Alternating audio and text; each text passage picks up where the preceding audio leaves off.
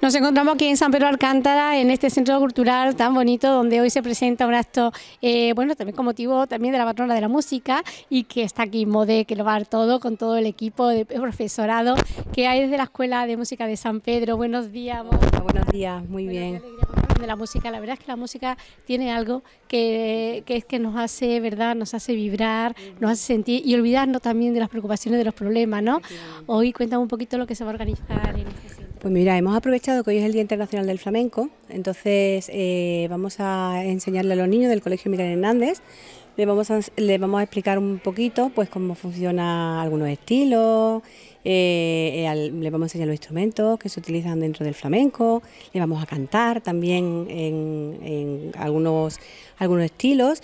Y también hemos aprovechado que el martes es el día de Santa Cecilia, el día 22, y entonces pues también le vamos a explicar a los niños, de hecho mi atuendo, que yo voy de Santa Cecilia, le, va a ser la moderadora eh, para explicar un poquito la historia de la música y sobre todo también de los instrumentos que tienen mucha importancia eh, dentro del flamenco y a lo largo de la época, de la historia de la música, que son los instrumentos de viento y no se le da mucha importancia y entonces para que los niños vean eh, el, paso de la época desde, vamos a empezar con el barroco, porque si no tuviéramos que hacer toda la historia a lo largo de, la música, tardaríamos aquí cuatro, cuatro años.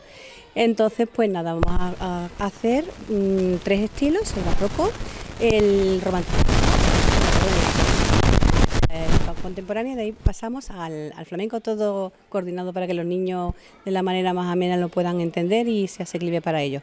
También son niños de edades comprendidas entre 8 y 12 años que tampoco podemos hacer una, una, mm, una, representación muy, muy que no lo puedan entender, sino que es todo muy ameno. Ya he visto que las pintas que tenemos todos y nada, y vamos a pasar una mañana muy, muy agradable flamenco, nosotros grabamos mucho, estamos muy eh, integrados en el Festival Flamenco también que hace San Pedro Alcántara y el de Marbella y el de todo, por supuesto, ¿no? Pero sí que vemos que falta juventud, ¿no? Implicada en esto y el flamenco no se debería de perder, ¿no? Y es algo que siempre hay que reivindicar, ¿no?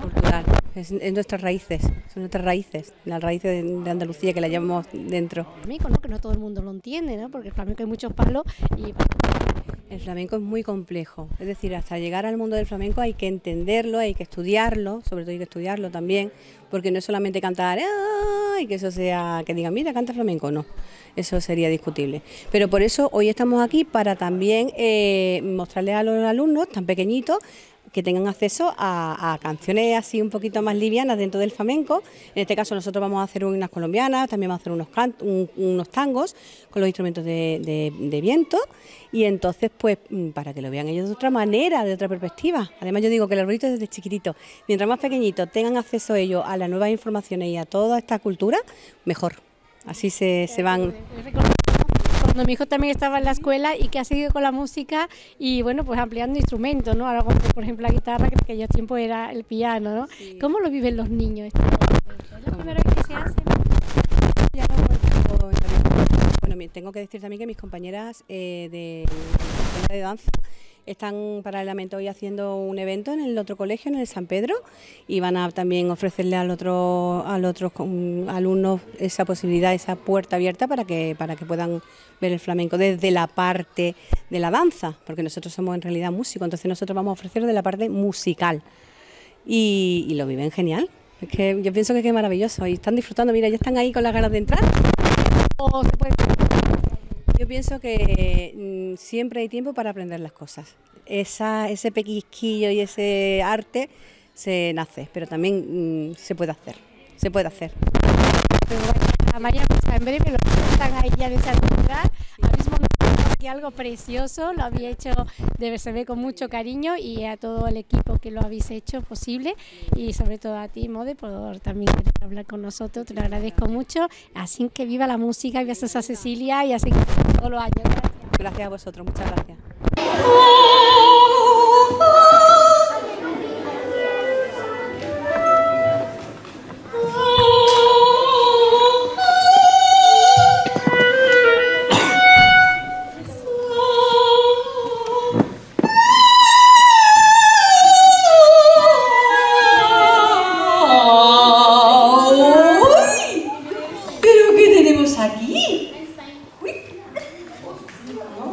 ¿Qué de público? ¿Pero qué tenemos aquí? Se ha caído la fe. ¿Se ha caído la fe? Pues mira que pronto vamos a pegar la fe.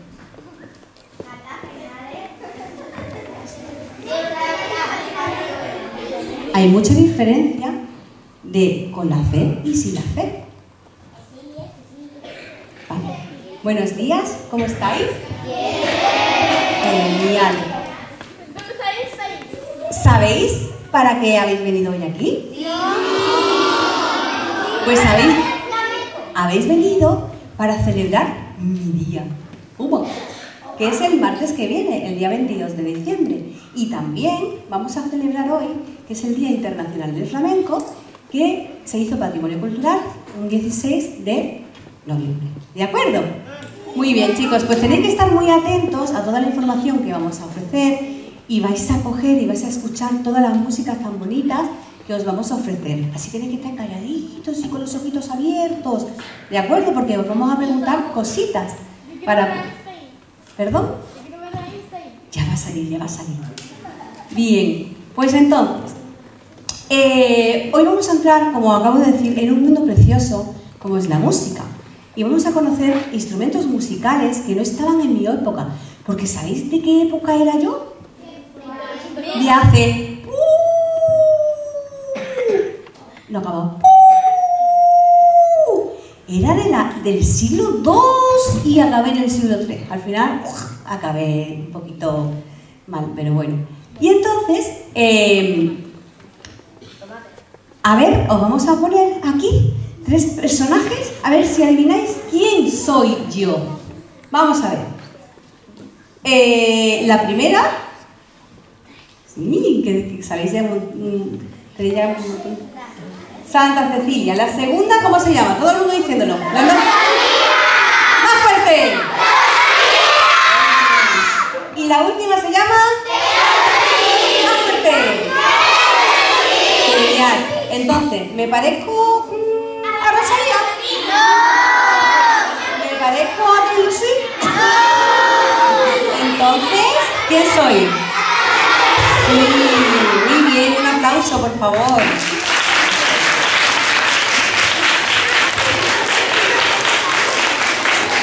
Pues sí, yo soy Santa Cecilia y soy la patrona de la música. No voy a contar una historia porque es un poco así como de película de, de miedo, pero sí deciros que yo estaba todo el día, todo el día, todo el día, porque yo nací en una familia tradicional noble en Roma. Y yo estaba todo el día cantando y era muy cristiana. Yo todo, siempre estaba ah, cantando en a mi Dios, ¡ay Dios, que te quiero! Pero estaban hartos de mí, de escucharme. Y también tocaba unos instrumentos que hoy en día no se utilizan. Yo estaba todo el día tocando una lira, una lira es como una arpa grande, pero en pequeñita. Vamos a ver, ¿quién conoce lo que es la lira? No lo conocéis. ¿Sí? ¿Tú sabes lo que es la lira? ¿Cómo te llamas? César. ¿César?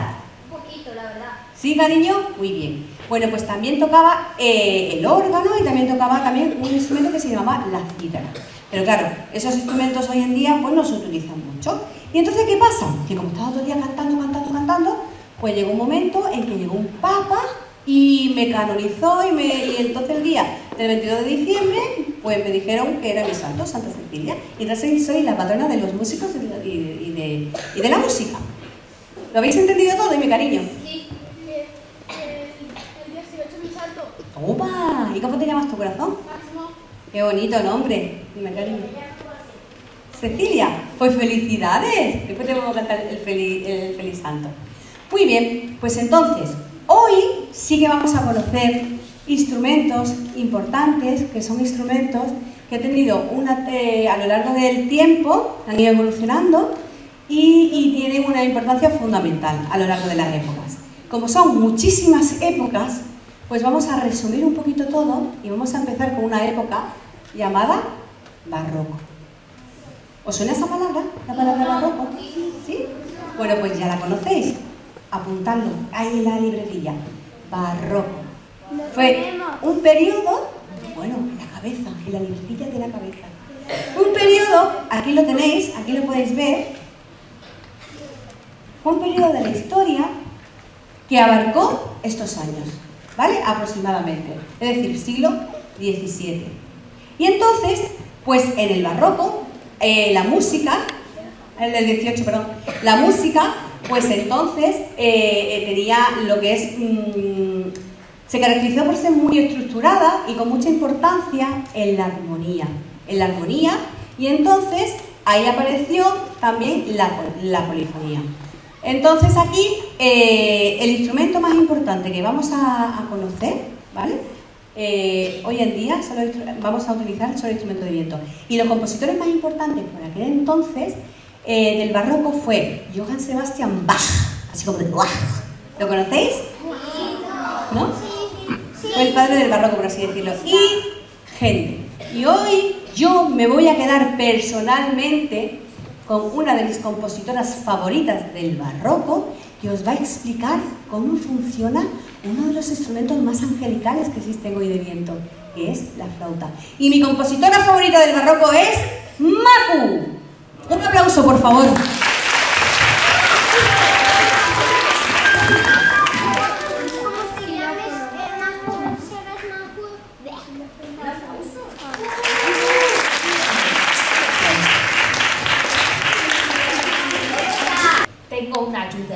En el barroco que se llama mi amigo Bono. Boni.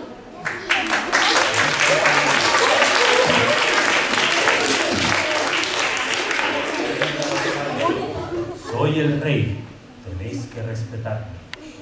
Aquí mando yo, en el barroco mando yo. Bueno, pues en el barroco la música, ¿esto se escucha bien? Sí. Un poquito. En el barroco la música, un poquito más fuerte, eh, por favor. En el barroco la música, eh, antes del barroco la música era por las calles, así un poco... Ya, pero es para cuando yo toque la flauta. Pelín más fuerte aquí.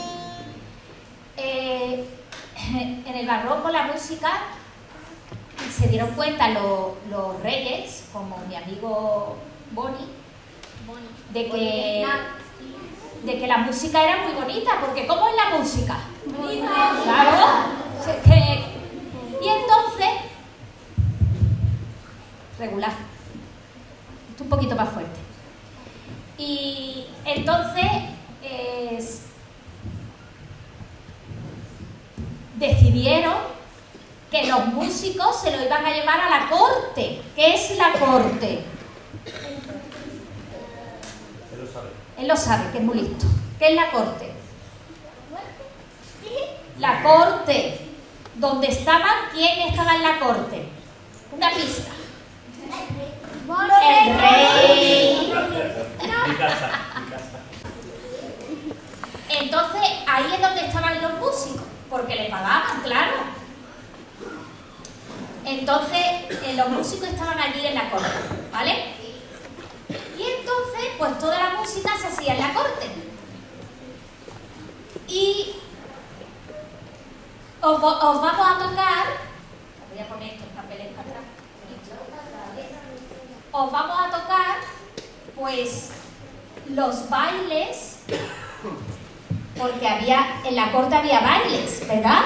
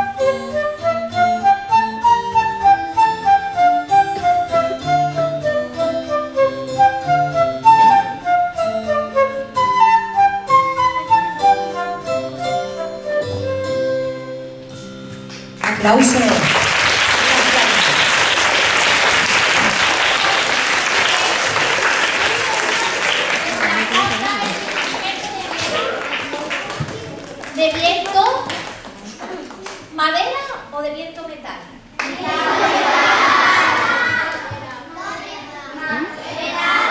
Madera, porque tiene estas cositas que se llaman llaves. Y todo el instrumento de viento madera lo tiene.